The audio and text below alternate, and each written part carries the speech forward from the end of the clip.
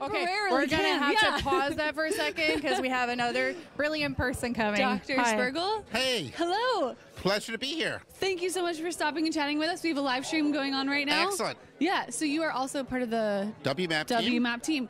We've been asking each other a lot of questions, asking some of the, the other parts of the team. Can we ask you the question we were just discussing? Absolutely. Okay, it's So, about. I, so I'm the theorist on the team. I'm the one who wasn't allowed to touch anything. yeah, that's perfect. But you're allowed to talk a lot. absolutely. Yeah, yeah.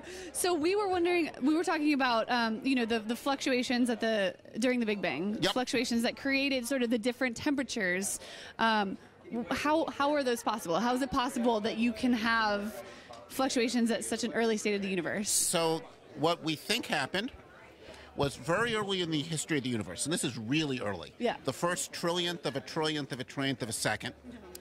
We think the universe underwent this period of incredibly rapid expansion mm-hmm. that we call inflation. Mm-hmm. Mm-hmm. And one, this part of the universe over there expanded a little bit faster than that part. So that ended up a little denser than that part. So we start out with these small variations, you know, about a part in 10,000 in the density of the universe from place to place. Once you've got variations in density, what that does is set off sound waves. We can do an experiment. Watch Okay, this. Okay. Right now. Okay, I'm going to set create a dense a, a over density in the atmosphere. You got Set- everyone's attention. Sets off well. a sound wave. yeah. and that sound wave propagates out. And what we see is the patterns generated by that sound wave. Mm-hmm.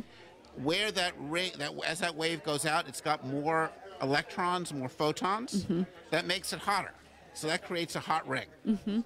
Now the subtlety, and this is one of the reasons we have evidence, very strong evidence for dark matter from our observations, is left behind is excess dark matter. Mm-hmm. So we've got excess dark matter here and a ring of baryons and photons around it. That excess dark matter makes a cold spot because you've got to climb out of a gravitational potential well mm-hmm. because it's extra matter. This makes a hot spot.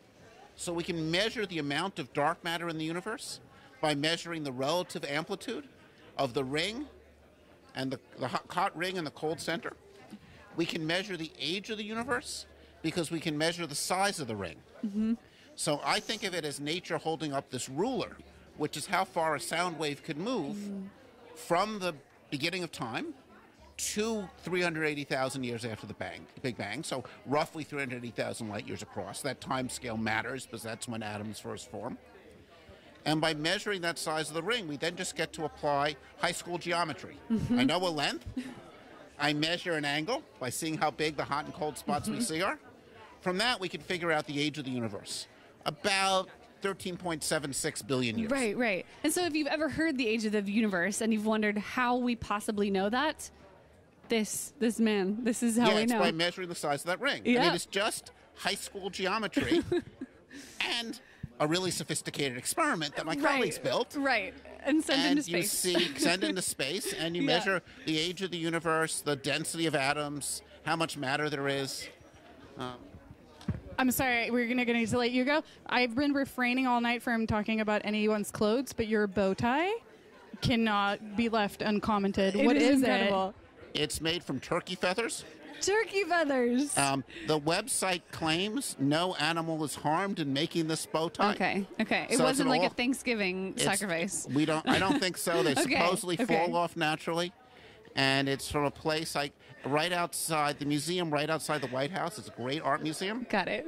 and uh, they sell these bow ties. And I thought, for an event like this, I gotta get a good yeah, bow tie. yeah. And one last thing, you were involved in the uh, writing the narration for the um, uh, what is it? The Hayden Planetarium Yep. show. Yeah. What is the name of the show? I can't recall. I don't remember. Okay, we don't remember, but it's about. but much of it is about dark matter. Yep. Um, you gotta see it if you haven't. I will be at the at the Hayden Planetarium tomorrow, so I will be checking it out. Excellent. I'm very excited. Excellent. Yeah. So I'm, I'm now based partly in Princeton, partly in New York. I'm Oh, running a it. center in New York. Okay, And, fantastic. you know, one of the most fun projects I was involved with this is a number of years ago was we helped set up the planetarium.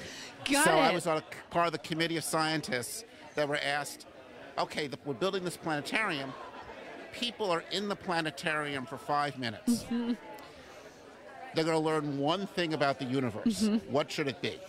And and you were part of that decision. Yes. Yeah. So what was it? What did what what did what's the, The one universe is really big. There you have it. So that's the big takeaway. we live in a big universe. We live Really in an big and really old.